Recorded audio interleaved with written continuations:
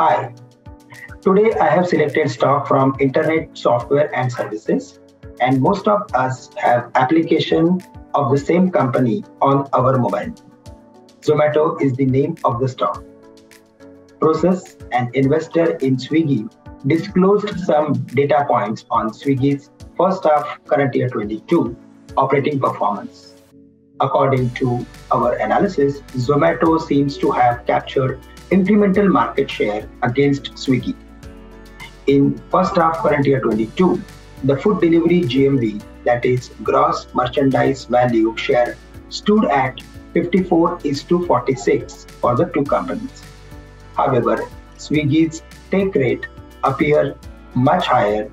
Much of the differential is potentially due to differences in revenue accounting. We remain positive on Zomato with an fair value of rupees 100. Technically, the market is clearly showing some buying attraction for all these platform or internet based companies.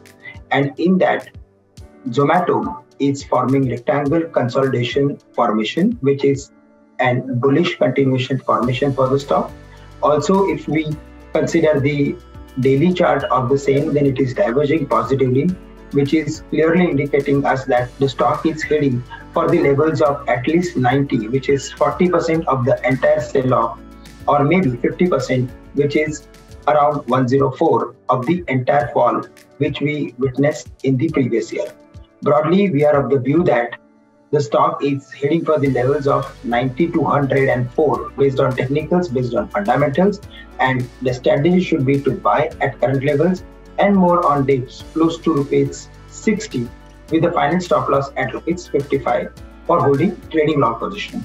If there is an investment view, then the target is around 100 rupees and we can keep buying the stock at current levels and more on dips. As a disclaimer, I would like to mention that as a broker, we have recommended this stock to our clients, to our group of companies. They may have a position in Zomato, but personally, I don't have any position in Zomato.